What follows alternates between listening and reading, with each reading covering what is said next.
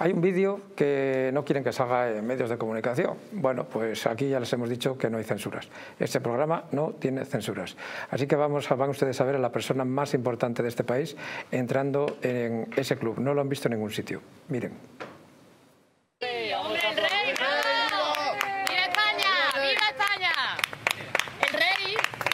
el rey Felipe en el Club Bilderberg. Ya sabemos que asiste.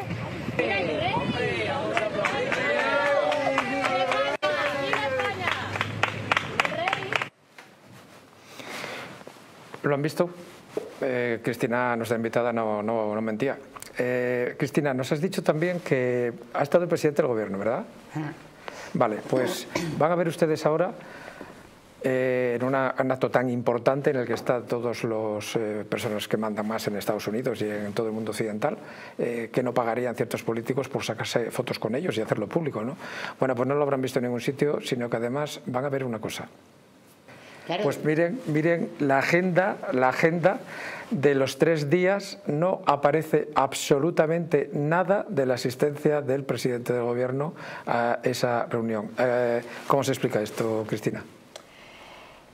¿Cómo se explica esto? ¿Y cómo se explica cuando fuera eh, estaban las señales de tráfico eh, que habían cortado para que no se aparcasen los alrededores del hotel? Ponía, eh, no se puede aparcar del tal fecha a tal fecha, que coincidía con la reunión Bilderberg, por un acto oficial.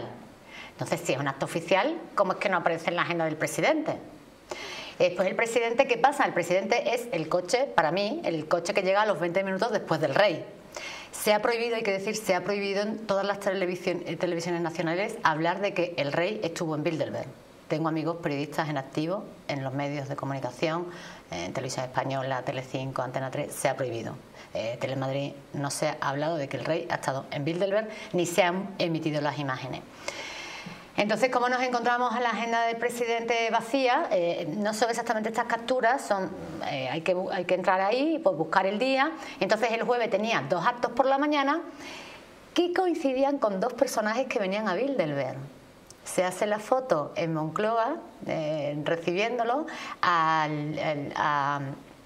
Charles Michel, el presidente del, del Consejo Europeo, y con un comisario que es el, responsable, tiene aquí un nombre de esto eh, impronunciable para nosotros. Ustedes no, lo están, ustedes no, lo están, viendo, pero si vienes lo que estoy viendo yo ahora, eh, eh, lo que es la mesa que está alrededor de Cristina es como un mar, ahora, lo están viendo un poquito mejor, es un mar de folios con datos de todo tipo de fluorescentes que demuestra que ha estado horas y horas y horas preparándolo, increíble. Bueno, y mejor me gustaría haber estado, pero gracias a Dios, como te decía, el libro ha causado tanto impacto y la reunión Bilderberg que, he tenido que atender a, los compañeros de, prensa, ¿no? de prensa seria, como, como, vosotros. Entonces se hace una foto, decíamos, con el presidente del, del Consejo Europeo y con Marcos Sefcovic, que es el comisario europeo del Marco Verde, del Pacto Verde, o sea, de la Agenda 2030, el Pacto Verde, el clima, uno de los temas que iban.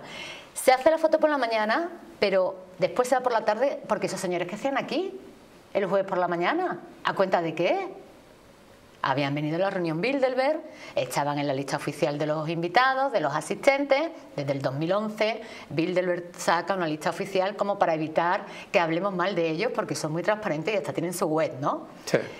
Eh, por la tarde se reúne con ellos y no hay fotos, no hay agenda.